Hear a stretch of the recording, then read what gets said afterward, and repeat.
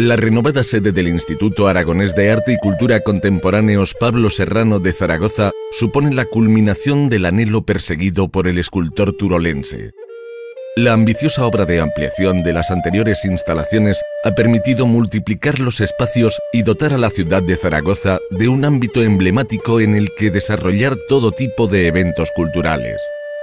Esta obra de rotundos volúmenes exteriores destaca poderosamente en el contexto urbano y ofrece en su interior una interesante muestra de arquitectura de vanguardia con la adaptación y ampliación del anterior inmueble.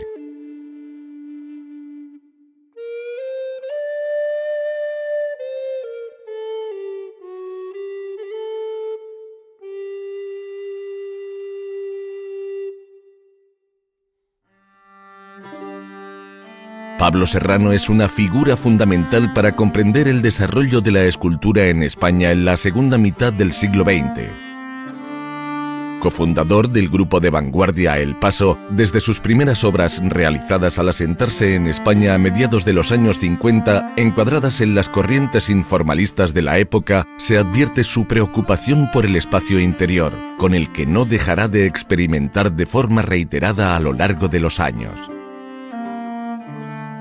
consumado retratista, aportará una percepción personal del efigiado, dando lugar a rotundos personajes que impactan vivamente en el espectador por su verismo. El conjunto de su obra se va a caracterizar por una profunda preocupación humanista y una evolución constante que le llevará a experimentar a través de las sucesivas etapas estilísticas con diferentes materiales, hierros, bóvedas para el hombre, hombres bóvedas, quemas del objeto, unidades juntas, son algunas de sus creaciones en las que el artista de Cribillén plasma sus inquietudes y en las que se puede apreciar su continua experimentación.